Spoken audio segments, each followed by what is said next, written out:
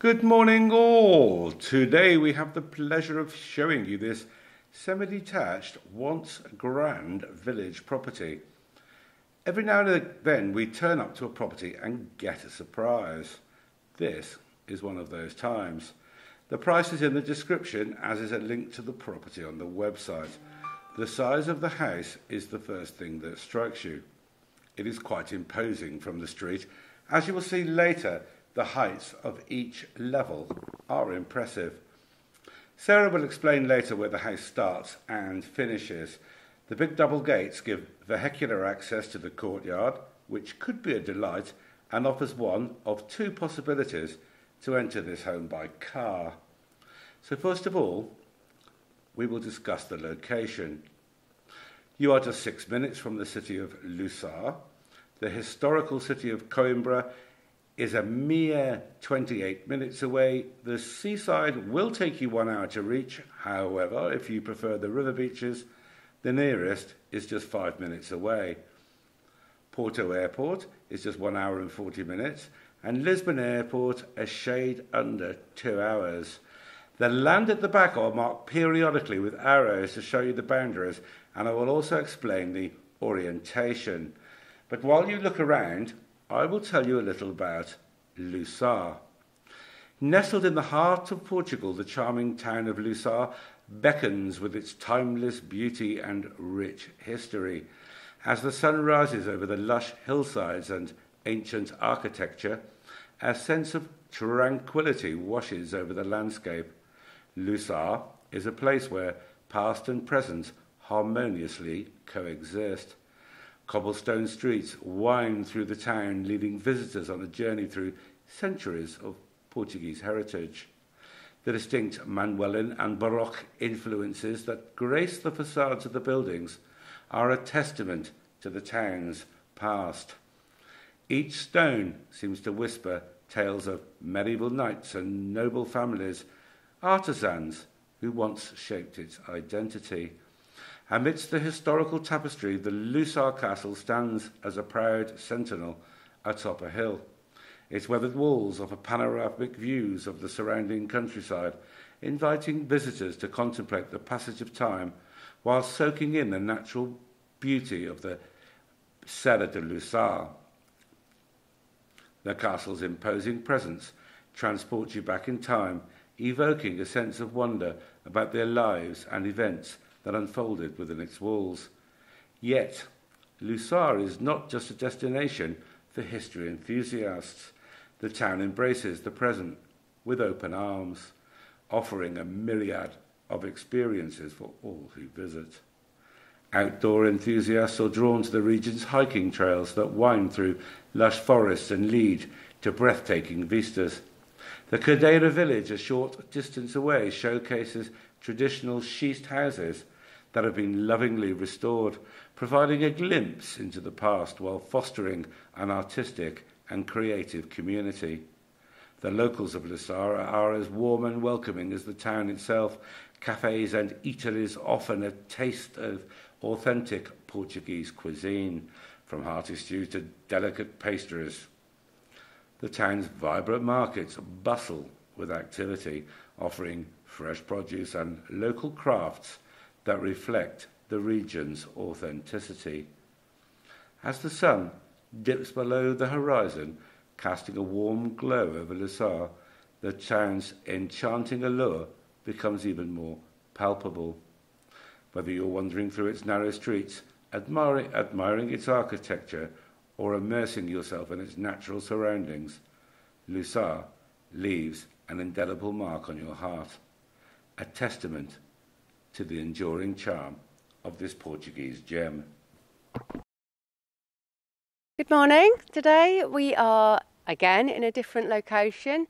We're up in the area of Lousã. We're not actually in Lousã. We're in a village sort of 10 minutes outside of Lousã. We have, okay, it looks a little bit shabby at the moment. It's in need of some TLC, but it's a stunningly beautiful, full of character property. You've got 230 square metres of build, which is really quite good on a stone property. It's a stone manor house You've also got 30 square metres of outbuilding here. all registered, ready to go.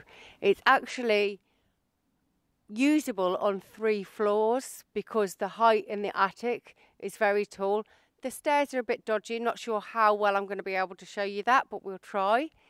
Obviously, we can't get in here. We're going to have to do this in two parts. Literally, this is just fenced off because the property is not in use at the moment.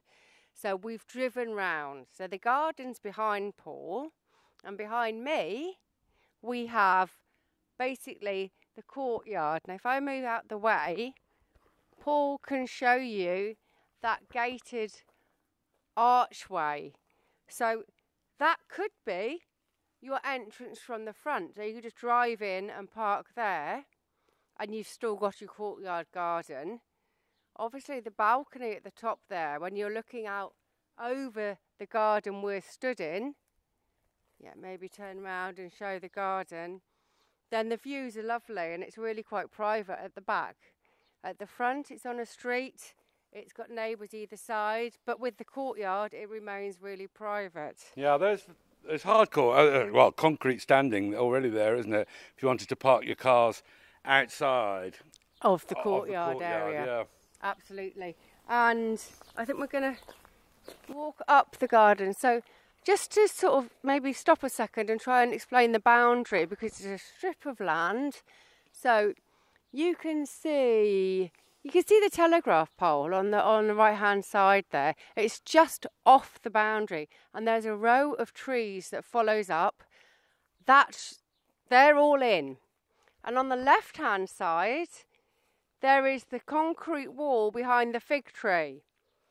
That's the boundary on that side. So you've probably got about 20 metres wide land strip that runs all the way up as far as you can see that it's been cleared. It's, sorry, it's how wide? Have I just made that up? You've completely made that up. It looked wider there. Yeah. It might get narrower as it goes. It Do you want me to go and pace go and that? Pace it out, dear. Pace it out. Right. Obviously, the whole concept of hang, hang on of pacing out just depends how long your legs are.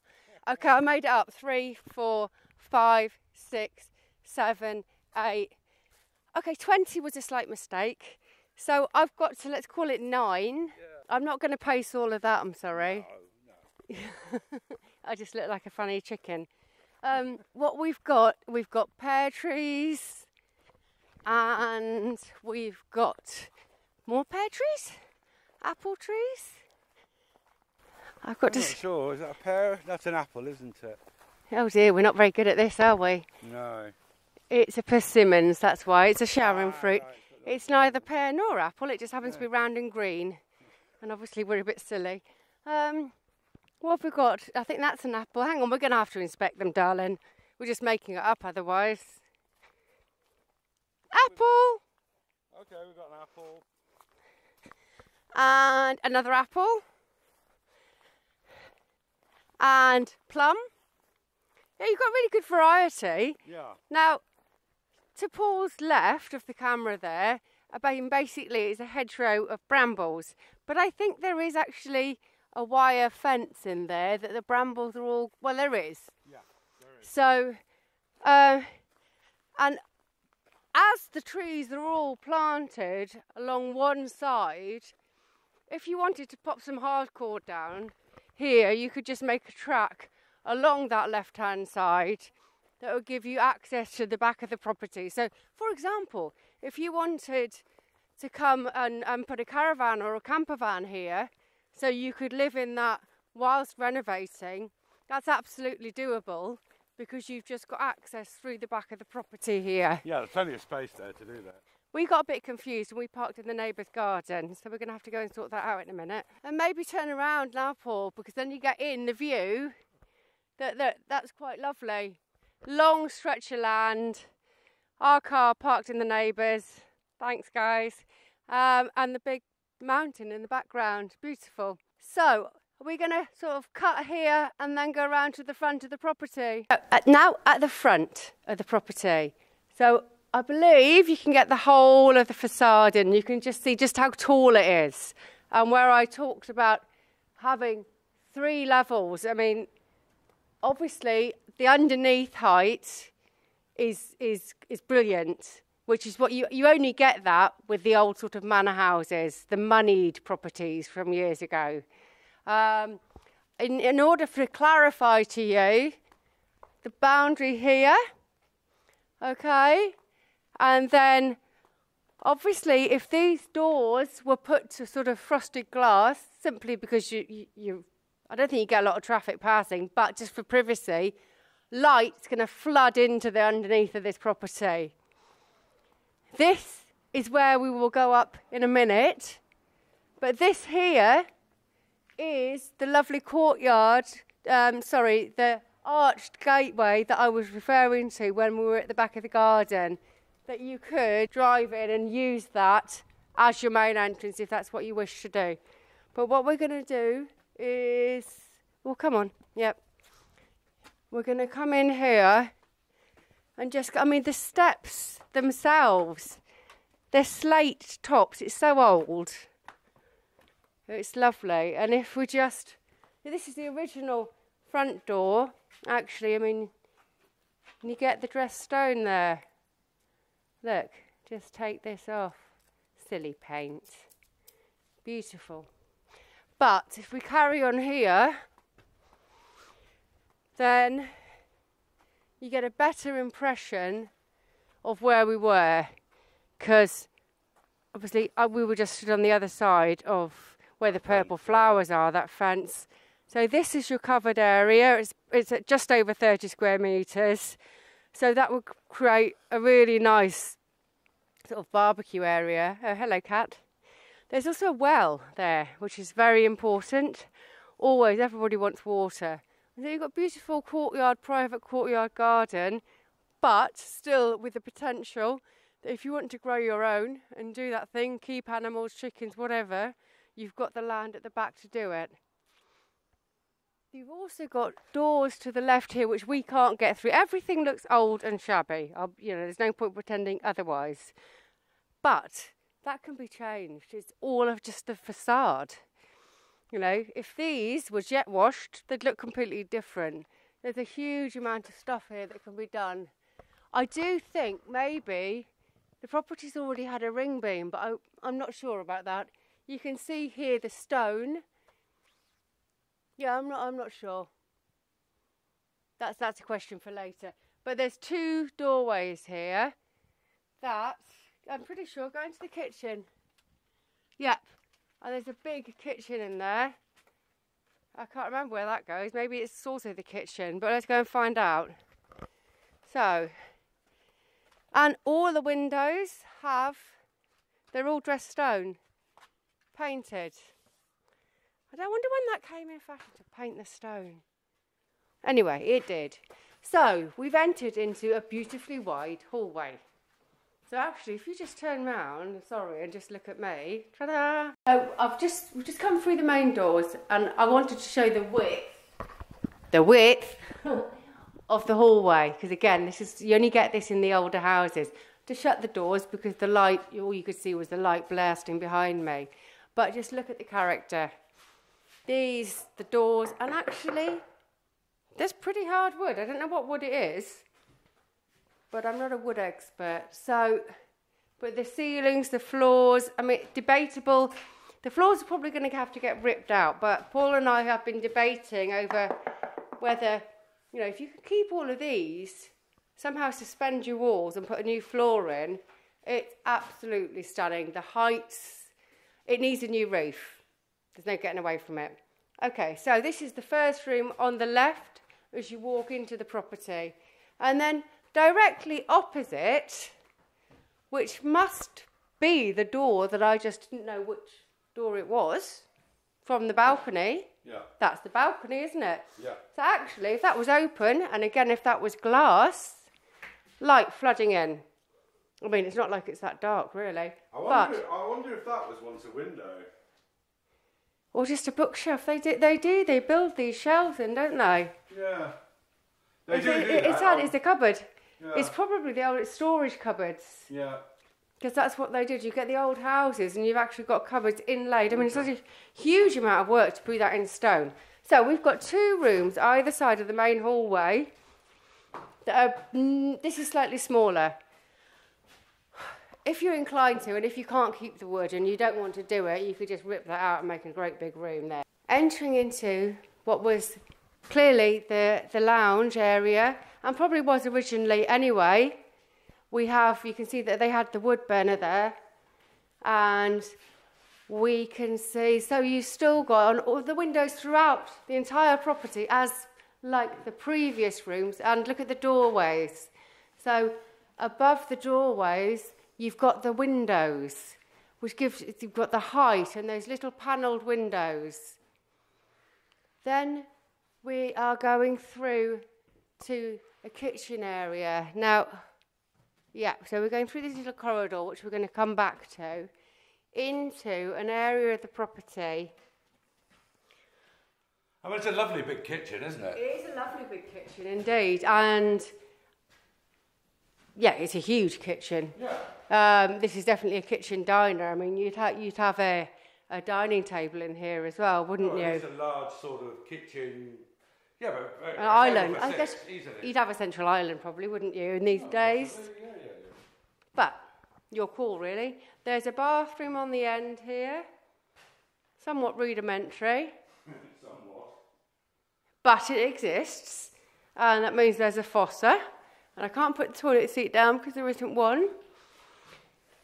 And then here, don't stand there.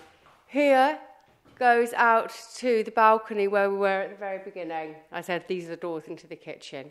So this area here has had a new roof. Okay, great height, lovely, adds to the whole general feel of the property of well of this space here. Yeah, I mean, there's, there's fantastic height everywhere in this property, There are. isn't there? Now, I'm not entirely sure how, and we probably should have discussed this previously. I climbed up there. Yeah, but it was way too steep for you to do that. Whoa, whoa, whoa. Oh, my word. Okay, I'm going to try and stop the ladder falling down with a husband twice my weight on it. Um, right, so now, obviously, I can't see what he's looking at, but I was there earlier. You need a new roof. What I'm looking at is Paul's bum, basically. Um, you need a new roof, but the point was you've got great height. Ah, please don't stand on me. Okay, that your next step is the floor, not my foot. Brilliant. Made it. One funny little feature that we found. Go on, you've got to, because nobody knows what that's for. and amazingly, nobody else noticed it. The little doorway, littlest doorway, which doesn't actually go anywhere. Goes directly to Pixie Hollow. It does. I might just hop in there in a minute. Right. So, that doorway went where? We've got to find it now, haven't we? I mean, these doors, okay, come on, Paul. We were discussing what you can and can't keep, and I always Those you like. could keep, for sure. You could refurbish those. Yeah, it, this is not a soft wood. No. So, the ceilings, where they have not been affected by rain coming in, because there are places where they have been, the door frames, Yeah, door the frames. doors, all of that can be kept, Yeah. treated and kept. Yeah. So good, right? We've we actually look because they're beautiful. Look, absolutely gorgeous. So let's go and find Pixie Hollow. Ha ha. Yeah. Oh no, I've lost it. It's behind that door there. Ah, right. It really didn't go anywhere. No, this is this is the bizarrest thing. If anyone knows what was going on here, Yeah. Do We'd let be- Us, do we- let us know. hey. Do let us know. Yeah, do let us know. Because it's just really bizarre. It's got a proper frame. And I was thinking, oh, well, it was obviously it's been cut in half, but it hasn't been cut in half. Okay, so we're going to have to go. here. You're still there? Well, you're looking at, we were here, this oh, is the, no, we've already done this. we? we've already done this, yeah. Okay. So, back to me, darling. Back to me. This way. So, back out the front door where you're probably going to get blinded, so maybe we're going to have to cut. And, well, let's find out. Blinded? And if you can do it, that's brilliant. We'll just keep going because, and these stairs, I mean, the type, we're in an area where the, the natural stone is different from where we live, which is Alvaiázere. So we tend to have sandstone. Here, limestone. Okay, limestone. Is the water supply attached? Um, here we're, we've, we're up in the area of the Schist villages, so it's more like ah a uh, closer to a Welsh slate. So we've got one door. Hang on, don't follow me and let me just see. No, there's more than one door. Let's try this one first. Huge slate entranceway. Now we're going to have an issue here because we've. Well, let's just try it. The light's gone. I'm very sorry. We've lost light. So if you come in, are you going to be able to see anything? What we've got, I'll just describe it. You have, hopefully, if nothing else, you can see the light coming in around the door. So that's just showing you the height. I mean, I'm nowhere near touching the ceiling. It's huge height down here. Now, there's obviously there's beams been put in, and there's work that started. I mean, uh, the the previous owners were living in this property, and for example, in this room here, which leads to the other double door um, onto the road, where I talked about frosted glass. Uh, this was used as a storage room. Um, rather heavy duty. But the frame's in, concrete walls have gone in. It was, you know, it was used. It was insulated. It was actually used for a, a cool room for for foods. Now this area here lends itself very much to being a stairwell. Well, like those joists were put in to create a stairwell Ah, okay, deliberately. okay. So this was going to be the stairwell. Yeah. Yeah.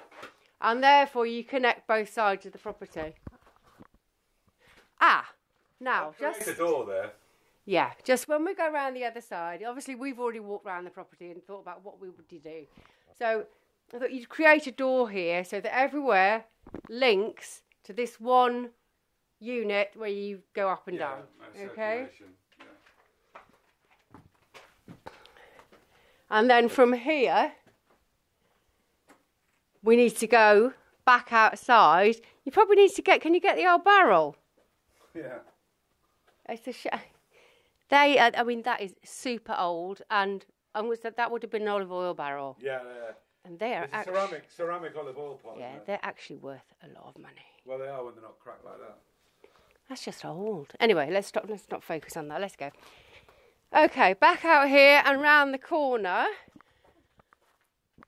to. okay, proper rudimentary toilet. We thought the other one was rudimentary. There you go. Looks like the toilet's got a siphon.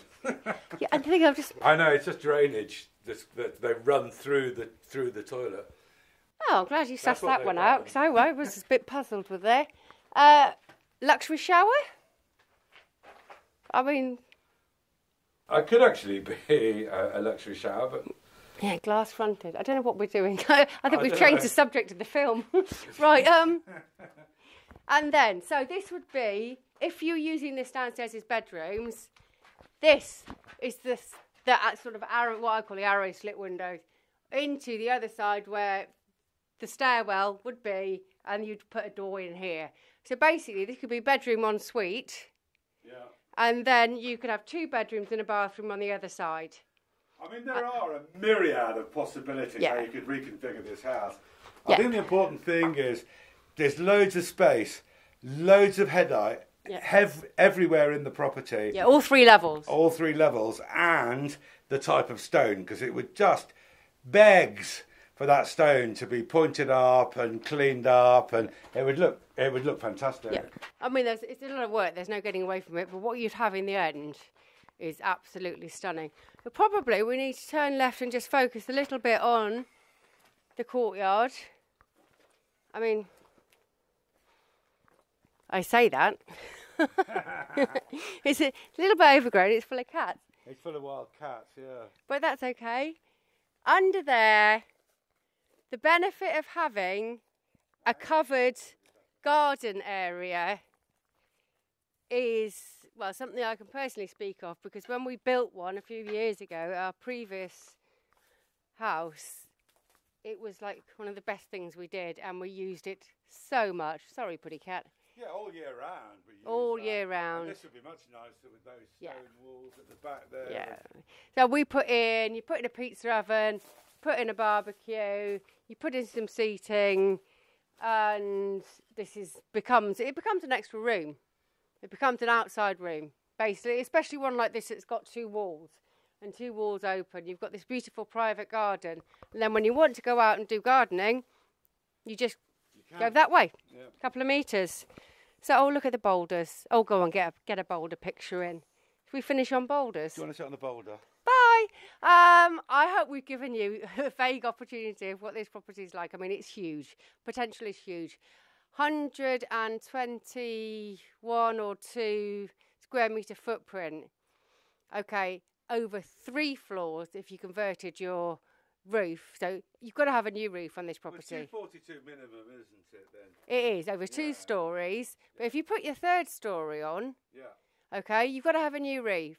So you ring beam it. It's an old stone house. You ring beam it. It gives you that extra bit of height. You've got a proper third floor on this property. It would be stunning. So that gives you suddenly you've got a huge house. Nice location. It has got neighbours either side. Actually, the courtyard's beautiful. Yeah. Really nice, lovely. Land out the back, nice views, private, close to schools, close to cafes. We've just met a really friendly chappie at the top giving us a toast of mixture. Really lovely couple, actually. Uh, yes. from the local and- So anyway, it's yeah, and it's an absolute bargain. Ha! Forgot about the price. Bargain, complete bargain. Look at the price. So please do like and subscribe. See you next time. Bye bye.